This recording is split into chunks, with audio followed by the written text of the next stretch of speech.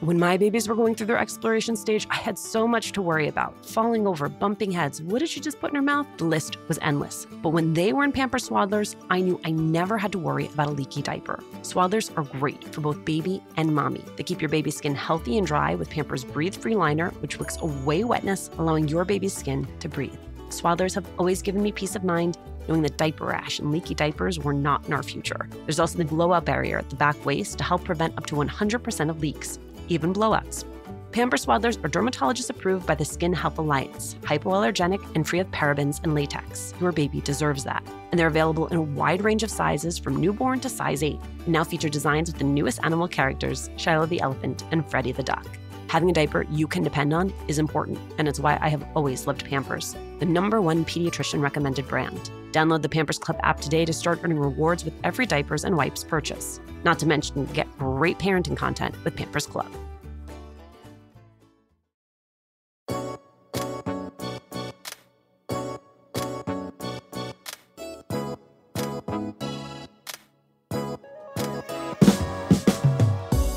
Myriam Gurba's first book, Mean, was a true crime memoir and ghost story, detailing Myriam's own coming of age as a queer Chicana and surviving sexual violence, among other traumas. The assumption Myriam found was that the confessional art she was making must be inherently cathartic. To Myriam, it was anything but. Her newest book, Creep Accusations and Confessions, is a sort of response to that assumption an informal sociology of creeps and how we challenge them, Myriam and I talk about life after leaving an abusive relationship, the complicated blowback to her viral critique of the book American Dirt, and the tension between wanting to be well liked and being, well, a little mean.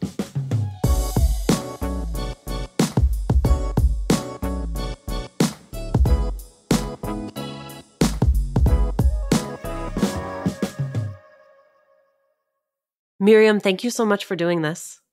My pleasure. Thank you so much for inviting me. One of the ways your first book, Mean, is often described as like a queer Chicana coming of age story. You and I are about the same age. There were not a lot of Latina stories. There were not a lot of Chicana stories. There were not a lot of queer stories, period. Yes. Then you start layering those identities on top of each other, and it really didn't feel like they exist. So I wonder if you recognize the first time that you saw yourself reflected back to you in literature. I have never seen my entire self reflected back in literature. I've seen fragments of myself I wrote about one of these moments in Creep in the essay that I have that is critical of Joan Didion. So when I was a senior in high school, we took uh, the AP literature exam. And the booklet contains excerpts from uh, various works, and then the students analyze them. And I remember coming across an excerpt by Joan Didion that pulled from Los Angeles Notebook. And in that same test booklet was an excerpt from Sandra Cisneros' The House on Mango Street. And I was flabbergasted because here I had a piece of prose that articulated the interiority of a Chicana having a birthday. And then you, several pages later, I have a description of California weather that I'm very intimate with. And so it's in moments like that that I find fragments of myself but seldom do I find those fragments fused, which is why, in part, I wrote Mean, was to take all those pieces and put them together because I know that there are so many readers like myself who are interested in seeing their lives and not just their lives, but their communities reflected on the page. And so that was part of my motivation in writing Mean. You write Mean, and one of the outgrowths of it is this assumption on the part of readers and voyeurs that somehow doing art that is self revealing and self excavating must in some way be healing or cathartic, which is very strange to me because I would not make that assumption all. It seems yeah. like a very obviously faulty assumption if you have ever tried to excavate your personal pain. um, and in that way, creep sort of becomes the retort yes. to that faulty assumption. Tell me how. So when I wrote Mean and was doing press for it, a question that I was frequently asked, and it was almost thrown out in like a rhetorical tone, was uh, wasn't the experience of writing this book cathartic? And to me, that seemed to imply that whomever was asking the question has this belief that the artist, in particular, the female artist or writer, is sort of like this vessel. And if you tap us with a spigot, you can empty us of pain. The pain then flows onto the page and then it becomes somebody else's to consume. And that's not at all what art making is. And that also continues to stereotype women as these vessels that hold, but that don't necessarily create, or these vessels for transference or exchange. And so I was very bothered by that line of questioning. And what I want for my readers to know is that the conditions under which I wrote my memoir mean were really brutal conditions. I survived three years of domestic violence while I was working on the book and also experienced like a re traumatization while I was working on the book because I had to do research into certain events that had occurred in the 90s and so the excavation of that material was traumatic for me. So ultimately, unless you know the conditions under which a work of art was created, don't assume that they were liberatory conditions. Hey, Red, what are you up to? Just making sure all the M&M's gifts are wrapped and the ball's filled. Remember that one holiday party when we had no M&Ms? Oh boy, I still have nightmares. The cookies? Yeah, you used all the M&M's candies that were meant to decorate the party treats, to decorate snowmen. You did it again, didn't you? they do look cute though. Bringing cheer, M&M's for all fun kind. When my babies were going through their exploration stage, I had so much to worry about falling over, bumping heads. What did she just put in her mouth? The list was endless. But when they were in Pamper Swaddlers, I knew I never had to worry about a leaky diaper. Swaddlers are great for both baby and mommy. They keep your baby's skin healthy and dry with Pampers Breathe Free Liner, which wicks away wetness, allowing your baby's skin to breathe. Swaddlers have always given me peace of mind knowing that diaper rash and leaky diapers were not in our future. There's also the blowout barrier at the back waist to help prevent up to 100% of leaks, even blowouts. Pampers Swaddlers are dermatologist approved by the Skin Health Alliance, hypoallergenic and free of parabens and latex. Your baby deserves that. And they're available in a wide range of sizes from newborn to size 8, and now feature designs with the newest animal characters Shiloh the elephant and Freddie the duck. Having a diaper you can depend on is important, and it's why I have always loved Pampers, the number one pediatrician recommended brand. Download the Pampers Club app today to start earning rewards with every diapers and wipes purchase. Not to mention, get great parenting content with Pampers Club. One of the things that I was struck by as I was reading Creep is you approach a lot of heavy, sensitive topics without the sentimentality that I think a lot of readers come to expect women to write about their pain with. And I to share that deep sense of irreverence, especially when it is meant to upend expectation. I struggle myself, though, with when that irreverence and that humor is really me existing in my survival mechanism and is more of a shield mm-hmm. and when it is actually a device that serves me and i wondered if you struggled at all with that tension and how as someone who it would seem to me your aim is to be visceral and raw and to cut right to the nerve how you know when you are doing that and when the humor or the irreverence if you like ever caught yourself doing it as a means of self protection? I think it's usually a means of self protection. We were talking earlier about my family and the legacy of storytelling.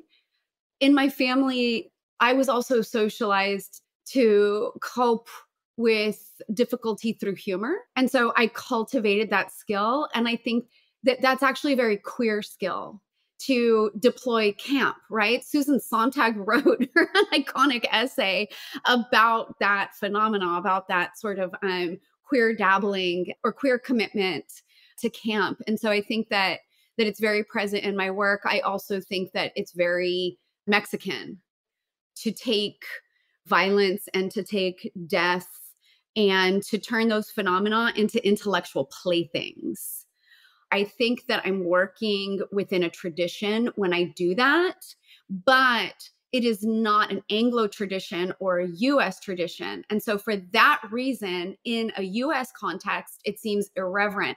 But I think in other cultural contexts, it would seem more normalized. You mentioned Joan Didion. There's a very thoughtful critique of your own grandfather in Creep. I wonder, do you have any sacred cows? Is there anything or anyone you would not write about? No, because I don't believe in revering people. I think that we have to rigorously critique those that we admire and we have to rigorously critique ourselves. How do you build room into that critique for this sort of conversation about calling people out versus calling people in? Like, have you ever had that type of critique where it led ultimately to growth, to evolution, to change on the part of the person who you felt needed to be called out? You mentioned the essay that I wrote about my grandfather, which is titled Mitote. And I have described it as an anti tribute. Mm. So it is both tribute and scold. And I open it by saying that one of the things that I do is I give my idols flowers before I knock them off their pedestals. So I think that it's so I think that it's possible to do both. I think that you can love aggressively. And in the case of my grandfather, like I feel like I engaged in a call in with him through that essay, although he's deceased. And I engage in a lot of ancestral veneration as part of like my personal spiritual practice.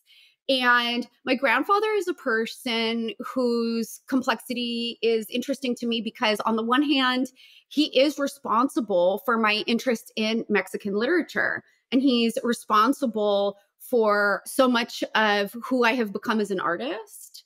But he was also a misogynist who believed that I could not achieve any success or express any talent as a writer because of the gender that I was born into.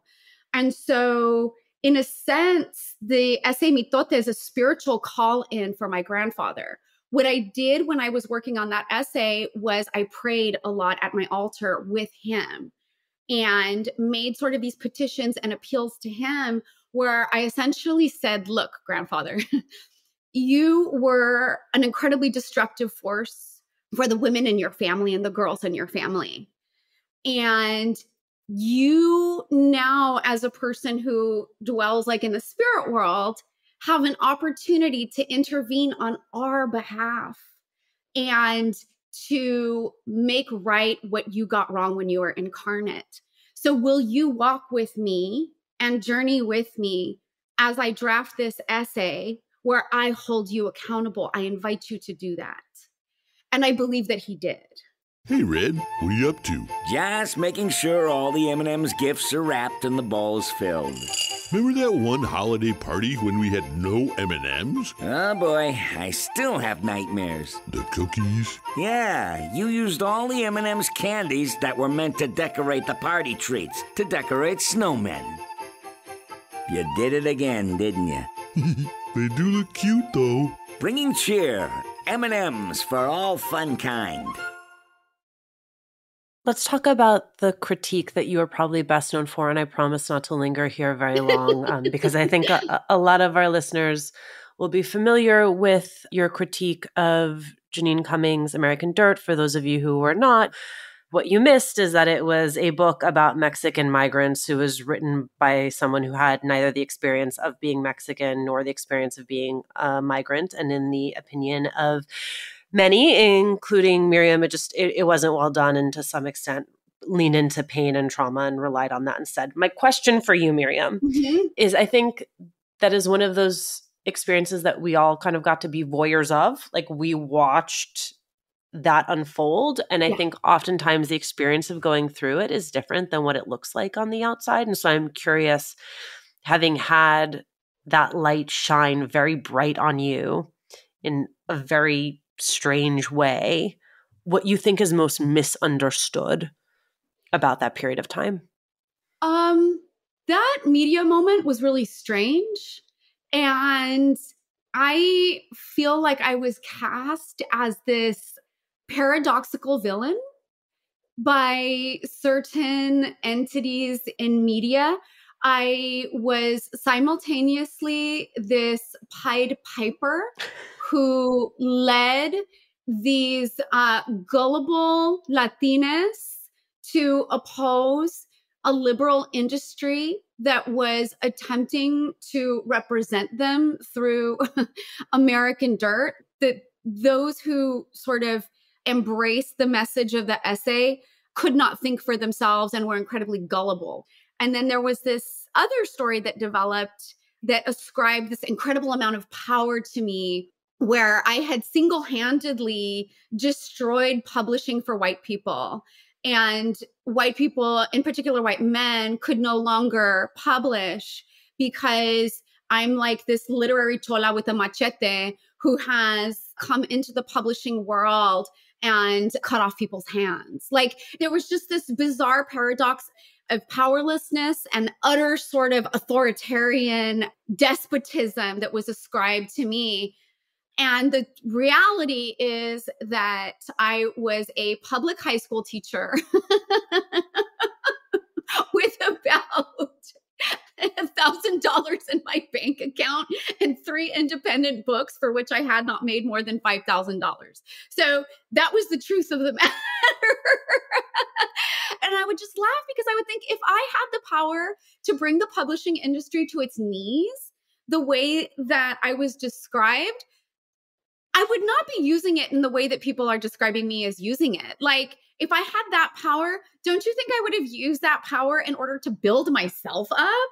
It was really strange. It reminded me of what some people jokingly refer to as Schrodinger's Mexican immigrant. So we're simultaneously stealing all the jobs, but we're too lazy to work. You know what I mean? It was just this bizarre paradox where it's like, who are we? Because we're certainly not the paradoxes that the media presents us as. So wild. I do I find you interesting because there you'll forgive me I'm going to I'm going to paraphrase you here. I believe it's in mean that you write I want to be a likable narrator but I'm also a little mean um, which as someone who has written an entire book about likability and the expectation that women and girls not only should be likable but should care about likability i am always drawn to women who i perceive as not giving a damn yeah. because i don't know what that experience is. And so it is to me super interesting. Do you care about being liked? I do care about being liked. I think most people do, but I don't care so much that I'm going to become an unprincipled person. So if adhering to my principles and my moral compass is going to result in dislike, then I'm happy to be disliked. I, I don't have any problem with that under those circumstances. And the reason that I that I wrote that line had more to do with the way that survivors and victims of gender based violence are represented. Those of us who are presented or represented as these sort of angelic figures are given much more uh, compassion than those of us who are complex and who are human essentially. Right. This idea that we see in multiple forms of a perfect victim. Exactly. Um, and only a perfect victim being worthy of empathy. You said recently, and I wanted to tease this out there are conditions under which I'm living that are very good that I did not think were achievable. Yeah. What is that? And what did that require? So I'm a survivor of domestic violence. I don't like the term domestic violence because it implies that the violence is contained within the space called home. But domestic violence travels everywhere with you when you are in its clutches. But when I was trapped, and I refer to that period of my life as a form of captivity, I didn't know that I would be able to escape it. And I came to fear for my life and because I was so terrified and so frightened that my life was going to be taken, I would sometimes wonder if freedom was possible. And I became so accustomed to living under essentially what was like a patriarchal authoritarian regime in my household that the idea of living freely it seemed impossible I think it's interesting that there was the assumption that writing mean would have allowed you to heal in some way. And I am curious if not the writing, if not the art as an act of healing, then how it is that you have, I don't know what, how you would describe it, heal, come into alignment, reckon with what has happened with you. The work that I have done in order to, I suppose you could say, make myself whole again, like I'll reach for that cliche, I think it's a good one, is off the page. It's largely off the page. And a lot of it has been spiritual. As I mentioned earlier, I have like a practice of ancestor veneration that I engage in. And I do believe that my ancestors have assisted quite a bit in piecing me back together a lot of my recovery has also happened through physical activity, through hiking, through walking, through being in my body. And I think that those sort of corporeal healing modalities are crucial to those of us who are healing from gender based violence. And one of the other techniques that has been incredibly helpful for me has been a culinary therapy because when I'm cooking or baking, all I have time for and all I have energy for and all I have sort of the mental capacity for is the recipe. And one of the foods that was incredibly healing for me to make was tortillas. Making a lot of tortillas, mountains of tortillas. so yes, so tortilla therapy was um was crucial to my recovery. Myriam, thank you so much. Thank you. This was fun. Thank you.